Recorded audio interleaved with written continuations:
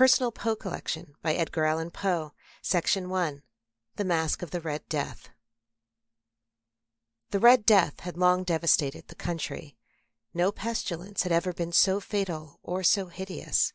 Blood was its avatar and its seal the redness and the horror of blood. There were sharp pains and sudden dizziness, and then profuse bleeding at the pores with dissolution. The scarlet stains upon the body, and especially upon the face of the victim, were the pest ban which shut him out from aid and from the sympathy of his fellow men and the whole seizure, progress, and termination of the disease were the incidents of half an hour. But the Prince Prospero was happy and dauntless and sagacious. When his dominions were half depopulated, he summoned to his presence a thousand hale and light hearted friends from among the knights and dames of his court, and with these retired to the deep seclusion of one of his castellated abbeys. This was an extensive and magnificent structure, a creation of the prince's own eccentric yet august taste. A strong and lofty wall girdled it in. The wall had gates of iron. The courtiers, having entered, brought furnaces and massy hammers and welded the bolts. They resolved to leave means neither of ingress nor egress to the sudden impulses of despair or of frenzy from within. The abbey was amply provisioned. With such precautions the courtiers might bid defiance to contagion. The external world could take care of itself. In the meantime it was folly to grieve or to think. The prince had provided all the appliances of pleasure. There were buffoons, there were improvisatori, there were ballet dancers, there were musicians, there was beauty, there was wine. All of these and security were within; without was the Red Death. It was towards the close of the fifth or sixth month of his seclusion and while the pestilence raged most furiously abroad, that the Prince Prospero entertained his thousand friends at a masked ball of the most unusual magnificence. It was a voluptuous scene, that masquerade. But first let me tell of the rooms in which it was held. There were seven, an imperial suite. In many places, however, such suites form a long and straight vista, while the folding doors slide back nearly to the walls on either hand, so that the view of the whole extent is scarcely impeded. Here the case was very different, as might have been expected from the Duke's love of the bizarre. The apartments were so irregularly disposed that the vision embraced but little more than one at a time. There was a sharp turn at every twenty or thirty yards, and at each turn a novel effect. To the right and left, in the middle of each wall, a tall and narrow Gothic window looked out upon a closed corridor which pursued the wingdings of the suite. These windows were of stained glass whose color varied in accordance with the prevailing hue of the decorations of the chamber into which it opened. That at the easternly extremity was hung, for example, in blue, and vividly blue were its windows. The second chamber was purple in its ornaments and tapestries, and here the panes were purple. The third was green throughout, and so were the casements. The fourth was furnished and lighted with orange, the fifth with white, the sixth with violet. The seventh apartment was closely shrouded in black velvet tapestries that hung all over the ceiling and down the walls, falling in heavy folds upon a carpet of the same material and hue. But in this chamber only the color of the windows failed to correspond with the decorations. The panes here were scarlet, a deep blood color. Now, in no one of the seven apartments was there any lamp or candelabrum, amid the profusion of the golden ornaments that lay scattered to and fro, or depended from the roof. There was no light of any kind emitting from lamp or candle within the suite of chambers, but in the corridors that followed the suite there stood, opposite to each window, a heavy tripod, bearing a brazier of fire that projected its rays through the tinted glass and so glaringly illuminated the room; and thus were produced a multitude of gaudy and fantastic appearances. But in the western or black chamber the effect of the firelight that streamed upon the dark hangings through the blood tinted panes was ghastly in the extreme, and produced so wild a look upon the countenances of those who entered, that there were few of the company bold enough to set foot within its precincts at all.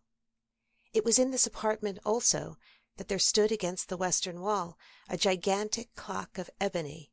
Its pendulum swung to and fro with a dull, heavy, monotonous clang, and when the minute hand made the circuit of the face, and the hour was to be stricken there came from the brazen lungs of the clock a sound which was clear and loud and deep and exceedingly musical, but of so peculiar a note and emphasis that, at each lapse of an hour, the musicians of the orchestra were constrained to pause momentarily in their performance to hearken the sound, and thus the waltzers perforce ceased their evolutions, and there was a brief disconcert of the whole gay company, and, while the chimes of the clock yet rang, it was observed that the giddiest grew pale, and the more aged and sedate passed their hands over their brows as if in confused reverie or meditation. But when the echoes had fully ceased, a light laughter at once pervaded the assembly. The musicians looked at each other and smiled as if in their own nervousness and folly, and made whispering vows each to the other that the next chiming of the clock should produce in them no similar emotion. And then, after the lapse of sixty minutes, which embraced three thousand and six hundred seconds of the time that flies, there came another chiming of the clock, and then were the same disconcert and tremulousness and meditation as before. But in spite of these things, it was a gay and magnificent revel.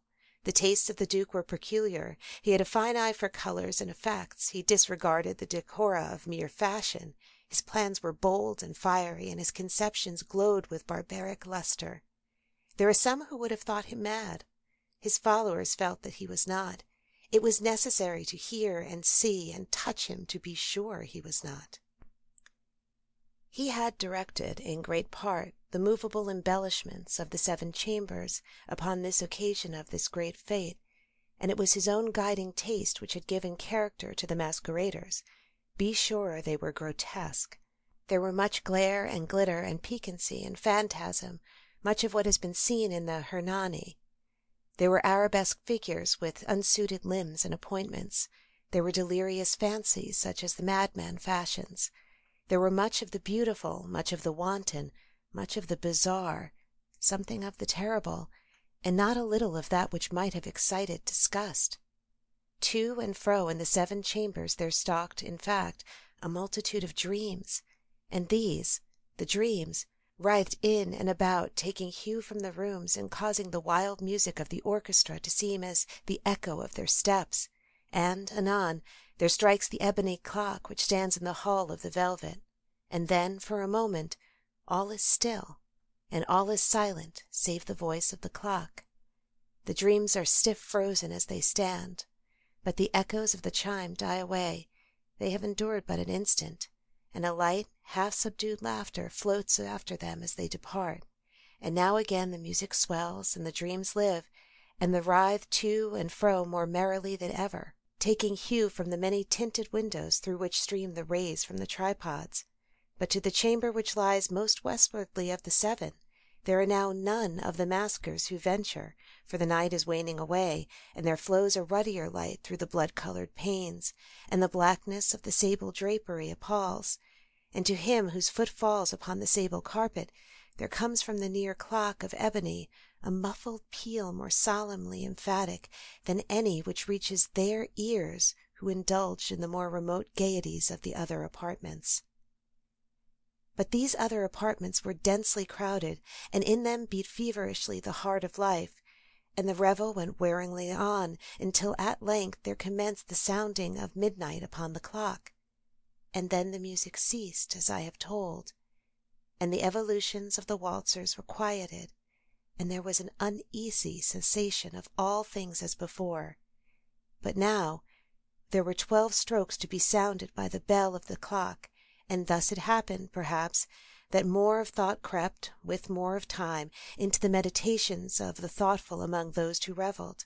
And thus, too, it happened, perhaps, that before the last echoes of the last chime had utterly sunk into silence, there were many individuals in the crowd who had found leisure to become aware of the presence of a masked figure which had arrested the attention of no single individual before and the rumor of this new presence having spread itself whisperingly around, there arose at length from the whole company a buzz or murmur expressive of disapprobation and surprise, then, finally, of terror, of horror, and of disgust. In an assembly of phantasms such as I have painted, it may well be supposed that no ordinary appearance could have excited such sensation.